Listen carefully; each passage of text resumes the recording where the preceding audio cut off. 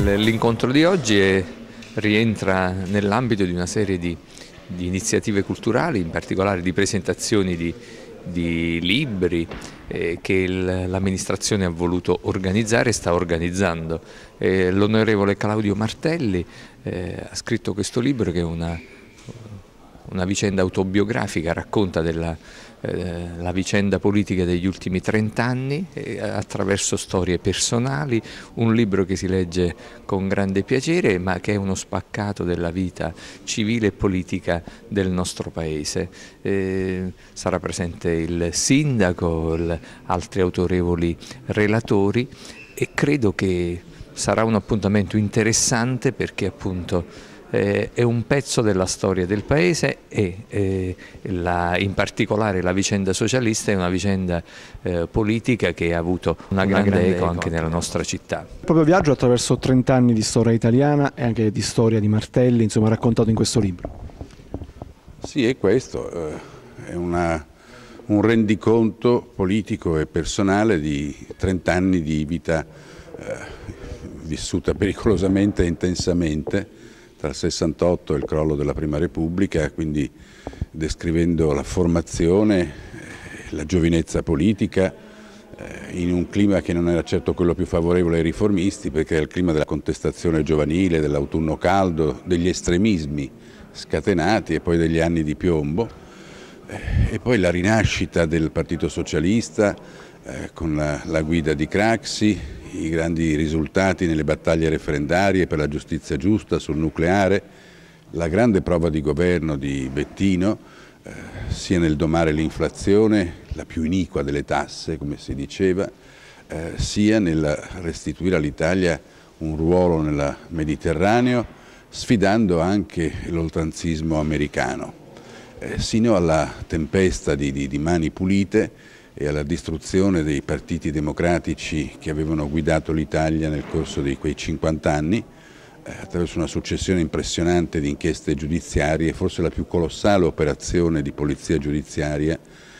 per intensità, per concentrata volontà eh,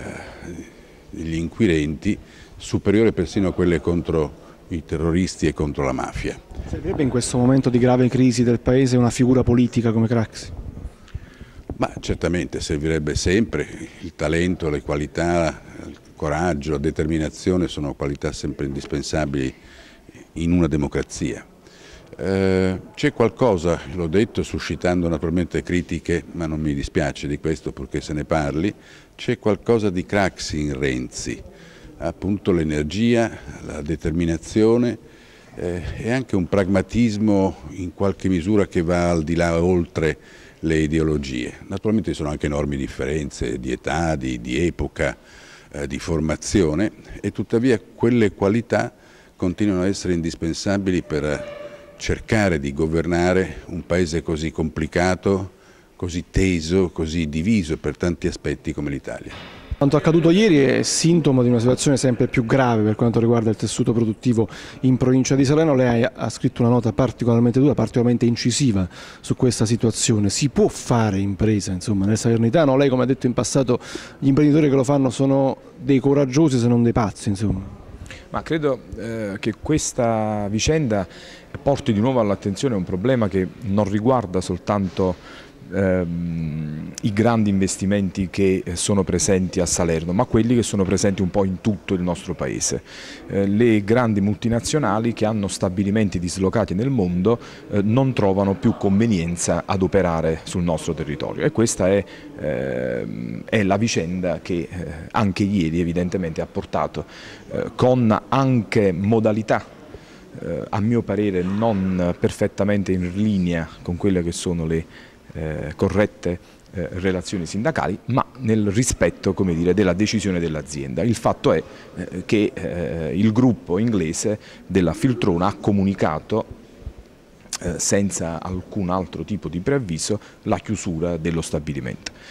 Eh, questo fa il paio ovviamente con tutti i nodi dello sviluppo che non sono ormai sciolti sul nostro territorio e credo sia necessaria e urgente e indifferibile eh, rimettere di nuovo al centro la questione industriale in Campania, nel Mezzogiorno, oltre al Paese, perché tutte le difficoltà che sono presenti per fare impresa in Italia nel mezzogiorno e nei nostri territori si raddoppiano. Per le imprese salernitane, italiane, stare nell'Unione Europea con queste condizioni, con una moneta unica, un mercato unico, ma costo del lavoro differente, tasse differenti, è un aspetto positivo o un aspetto negativo? Ah, il problema non è l'Unione Europea, eh, le aziende lavorano e competono in Polonia, eh, anche la Polonia è dentro, quindi il problema è mettere mano alle riforme serie del nostro Paese. Mm, il cuneo fiscale che abbiamo noi non ce l'ha nessuno, il carico della burocrazia che abbiamo noi non ce l'ha nessuno, il costo dell'energia che abbiamo noi non ce l'ha nessuno, quindi non